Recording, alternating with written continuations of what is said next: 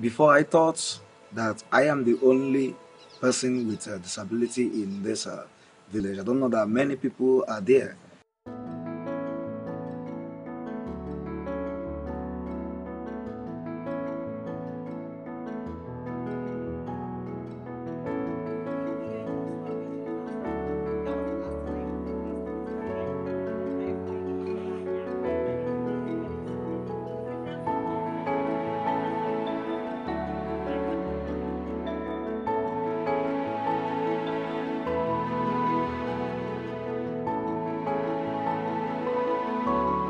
Approach has been to build our data, use it to intervene, learn from the process that has happened, and program.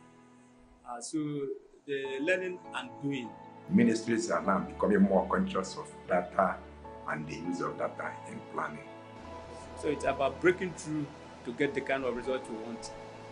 Getting a project to fit the place and the people, given their nuances.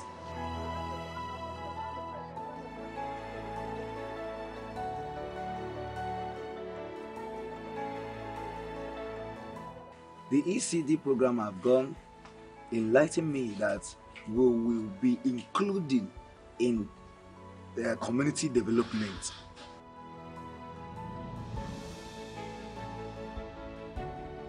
They made me to understand that anything the community is doing or anything that is happening in the community, that I need to be informed. That when, whenever we are informed, we need to give our own suggestion that we are still a human being in the community like others